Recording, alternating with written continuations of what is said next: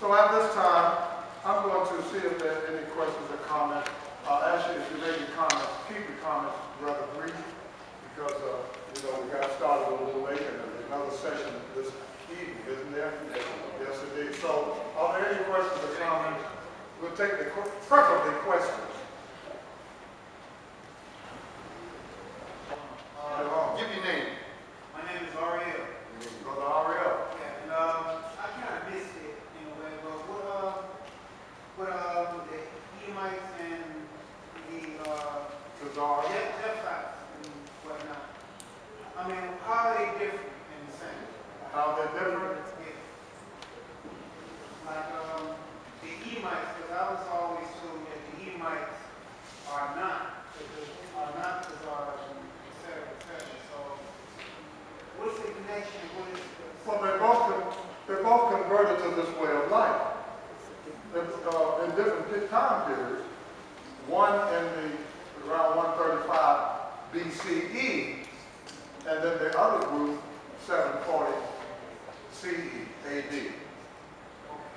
Different time periods, but they, they embraced this way of life.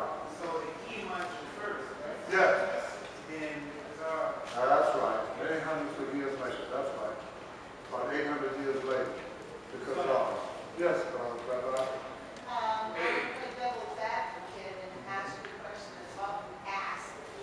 Um, that many, um, Israelites believe that the Edomites are the current Ashkenazi, the people that are not other than, uh, people of color. And we are the, the original Jews. But my question is, if that be true, and the Edomites are in fact descendants of Esau, who was the twin brother of Yaakov, how do you justify that argument? It, it really doesn't matter. No one, ha- no one is responsible or can control what race he or she is. We have, no one has any control over who your parents are. Esau had no control that he was born uh, of a fair skin, and two nations are in thy That's what it says. Two men of nations. So God chose Jacob for the spiritual blessing. But if Esau wants to come in and embrace the commandments, that he's not shut out. But he couldn't say, well, each one of you, just go your separate ways, and I'm gonna make a covenant with both of you. It didn't work out. The big secret, the big secret is this. What you know is B'nai Israel, or Jew, uh, of Judah, during the period of, the- it actually started even before the Rome, especially under the Greeks, right? People were enamored with the Greeks. And the Greeks, of course, were enamored with the uh, ancient Babylonians and, uh, and, and uh, Kemet. There were always, it was nothing done that was exclusive, right? There were always, during the time when people, people say Jesus was an emperor, God here, they, they were constantly proselytizing. They were converting other people. Now, Jerusalem being the, the seat that it was, there was all types of people coming in. Parthians, Arians, all right? That's, that's what they had behind. And uh, so what happens is that they want to act like they are just as pure as the original seed.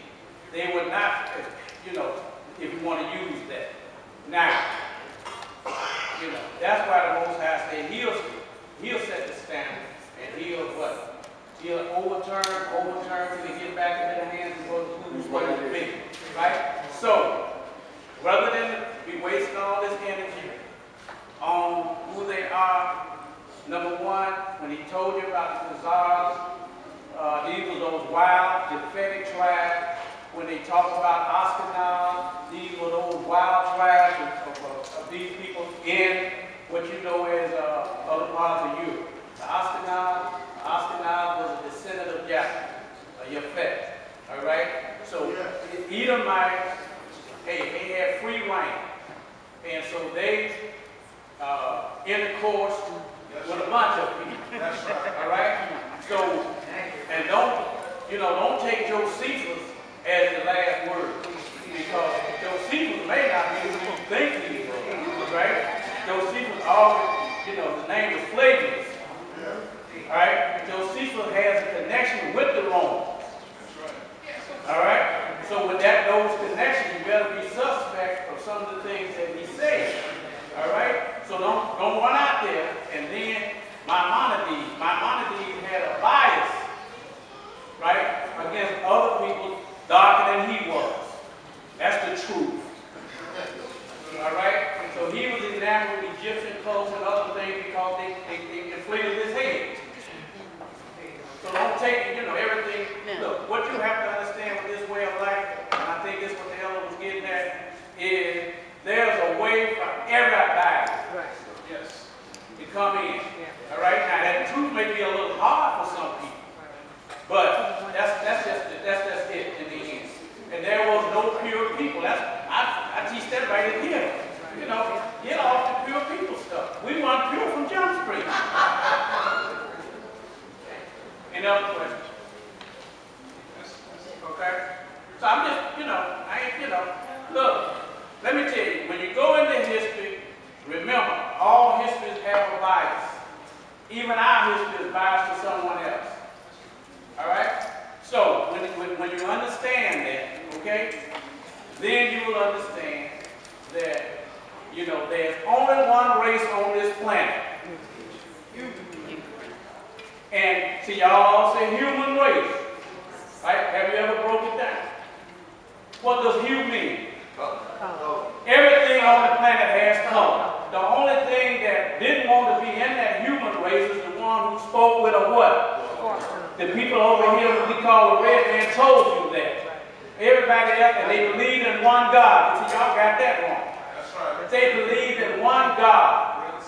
All right? They may not have called it what you, look, the, the languages were confounded.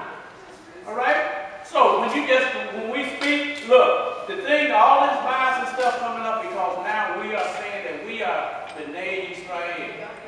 Right? That's what, what did the elders say? They tell us who is not, but they don't say who is.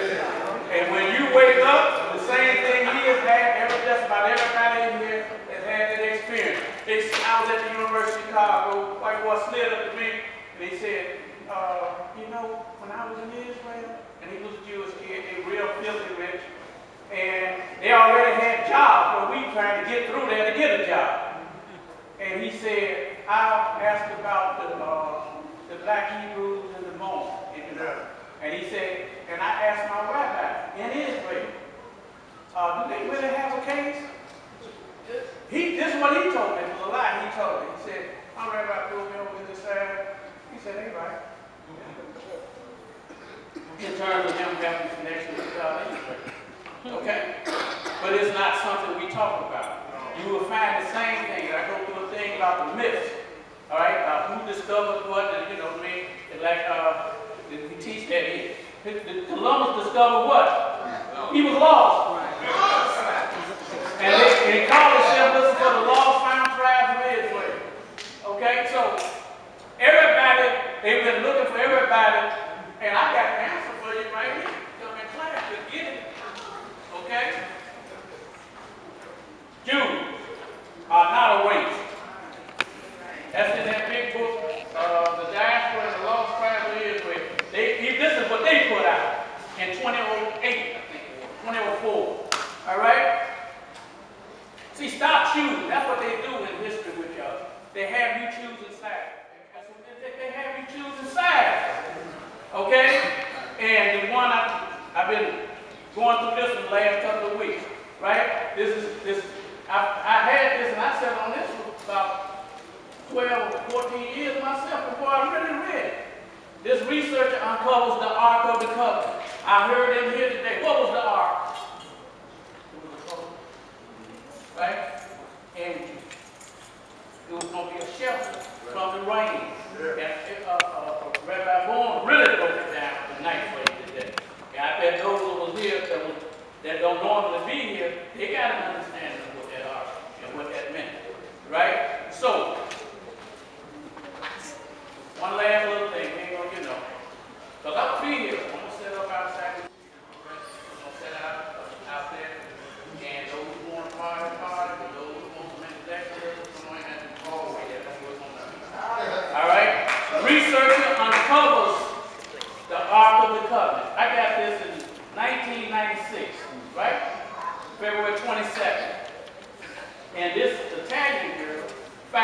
out. She said, I found out. Okay? Uh, what's the girl, uh, that died? Uh, was a good friend with you. All right? She told me, she said, I know where the when she came to Right? And this ark, it ain't just one. All right? But this is what she said. She said she's in a group called RISE, R-I-S-E, which means the Research Institute for Social uh, Equality. And she said RISE was formed to archive and analyze manuscripts, art, literature, and bring to the public's finding that documents indigenous cultures in the ancient world. Well, I know Rabbi me know what that means, right? When they get to indigenous, they talking about some form of you, right? And she proves it. She goes down and says, she says, thousands have searched for the ark of the covenant for centuries, but it seemed to disappear without a trace. You know what he said? Every time it come to you, it's a mystery or something strange. Then I'm just, she said, but I was thinking, what is an ark? What is an ark in biblical terms? Asking a child. Hmm? The child will say, what was the ark? Noah's ark. And they will most likely quickly reply, a boat. Quite simply, in biblical terms, the ark was a portable boat shrine. The truth is shocking. Then she drops down and she says, why were they overlooked? They done found, they, they know they got the answer. They tell you they out there looking. They just they simply the system. Right? She says that they, and when they went to see these big shrines and, and these, and these temples and stuff and, and set in the first and Thebes and that in Habu, she said one would think a 20-foot picture of the ark would draw a little attention. Why were they overlooked? The researcher explains scholars are looking for white images. You can't solve a black mystery with a white face.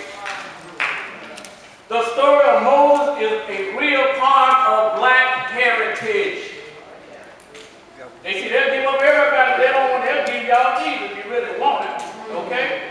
But they don't want him, they, they want Moses. That's what they want. If you want the key, that most I already told you in the scripture. Who is the key? Every prophet comes, he gonna come in and look. If he come in and tell you against Moses, leave him alone. Many scholars looking for the for the for the white faces of today, day's greater Jewish population. Now you want to see how it works because it, it has to be in their image so that they can keep that white Jesus out there. All right. Fail to see the creator of the cornerstones of the religion Moses promoted, ancient monotheism. With the white perspective, with the white perspective, many scholars have devoted a life to the search for the lost ark, only to come up empty-handed. The truth is that the Ark of the Covenant could be just one of the many portable arks established in the Egyptian religion during the 18th dynasty. And they don't even argue with you if you, if you know that the 18th dynasty was definitely a what? A black dynasty. All right, and they just one king. Okay? And that they were located in Egypt and, and uh, other provinces, which included Ethiopia and Syria. All right, I got it. Okay?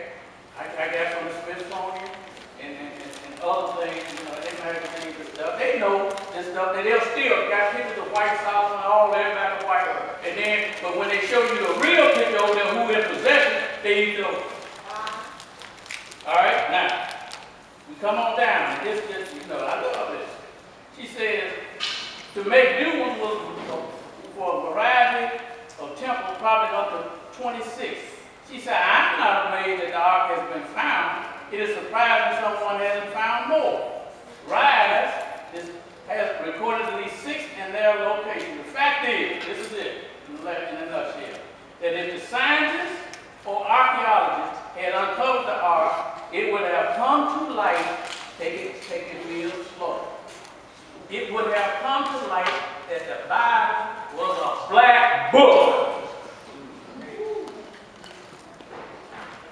The priests that carried the ark were black, and these were not slaves. they were the respected older men, priests and princesses of the tribe.